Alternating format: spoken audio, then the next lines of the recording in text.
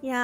ーまあ6月1日が始まったということは5月が終わったということで5月が終わったということはまあ俺の大事な友達が卒業したということでまあなんかあんま実感あんま実感ないけど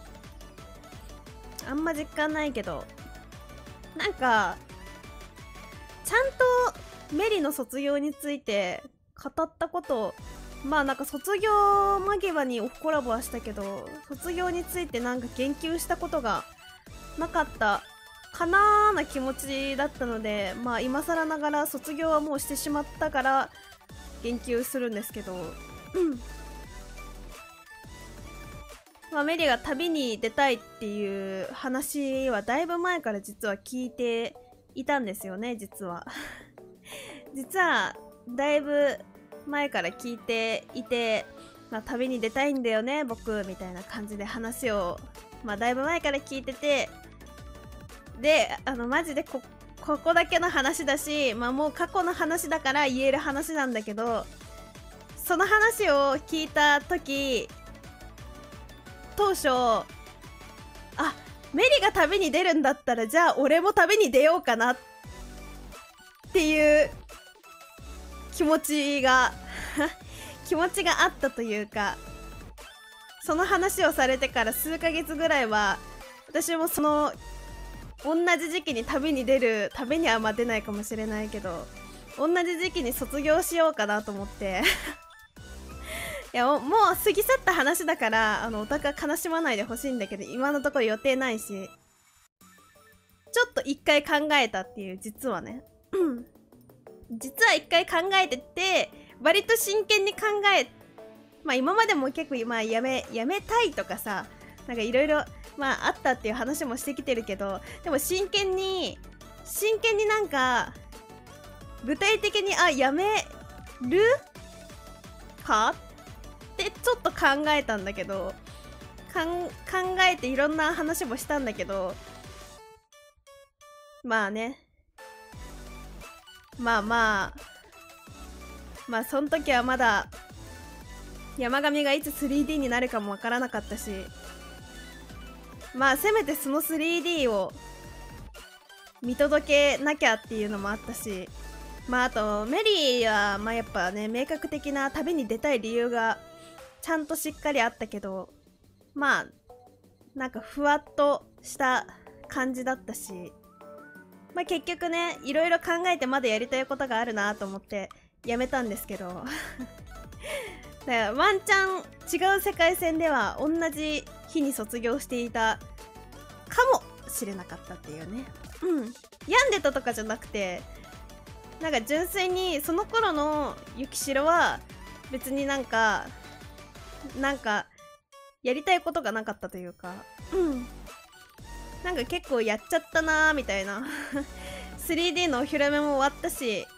なーみたいな気持ちだったからまあやめてもいいのかなって思ってたっていう、まあ思ってたけどまあこうやってね朝活だったりとかまあ 3D になったことによってねまあヤマトもポジダン踊れたりとかねダンスとかねこれからまだやりたいことがあるなーという気持ちでまあまだライバーでいるわけですけれども。まあね。まあいつかは辞めるかもしれないけどまあ今のところ予定はないので安心してください。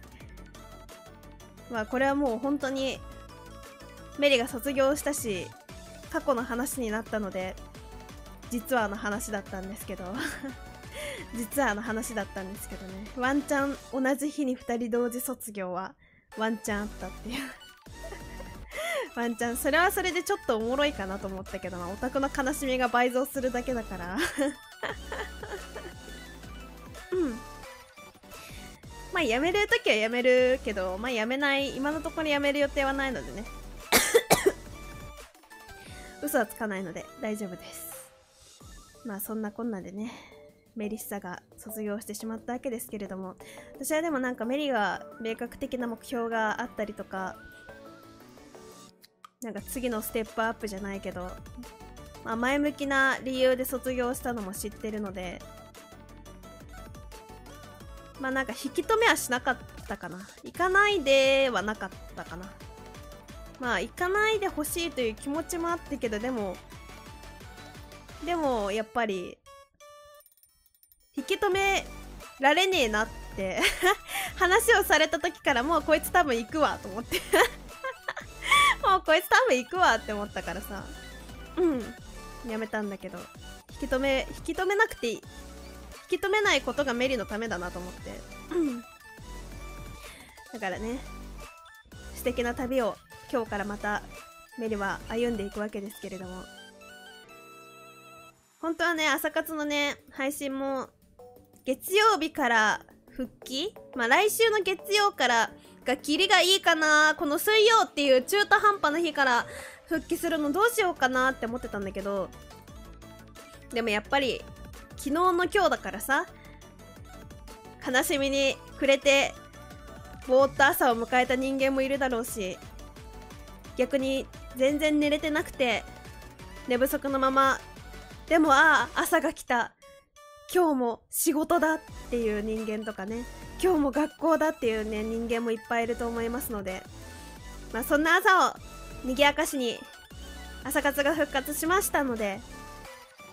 まあ昨日の今日でねしんどい気持ちがある人もこの朝活を聞いて出勤投稿していただけたらと思います。